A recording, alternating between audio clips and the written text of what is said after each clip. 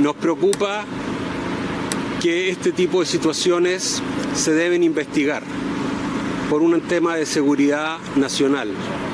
Conocemos cuáles son los vínculos de las líneas aéreas que las cuales están sancionadas, como es Conviasa y Emtrasur, empresas venezolanas, aviones los cuales el, el Departamento del Tesoro de los Estados Unidos las tiene sancionadas por teóricamente estar ayudando y colaborando al terrorismo internacional. Pedimos que se venga se haga una investigación transparente en la cual podamos tener resultados y poder prevenir este tipo de situaciones en nuestro país. Queremos seguridad para nuestra patria y para los ciudadanos chilenos de cualquiera sea su raza, etnia, origen, religión, cultura. Tenga una proactividad de parte del gobierno en buscar una, una investigación y buscar respuestas del por qué estamos recibiendo estos aviones. Manifestar nuestra preocupación por la pasividad que vemos en las autoridades respecto a temas que han motivado escándalo y una acuciosa investigación en países como Paraguay o Argentina, llegando incluso a retener el eh, avión motivo de la investigación por temas vinculados a terrorismo, contrabando y o eventualmente tráfico de drogas.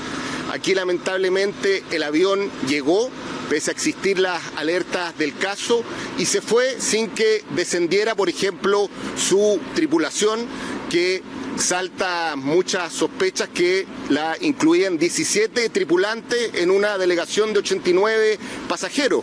Claramente los datos y las cifras no calzan como no calzan la cantidad de equipaje que se portaba efectivamente por eh, pasajero el día de ayer se instaló una comisión investigadora por parte de la Cámara de Diputados, cosa que para nosotros es una señal importante.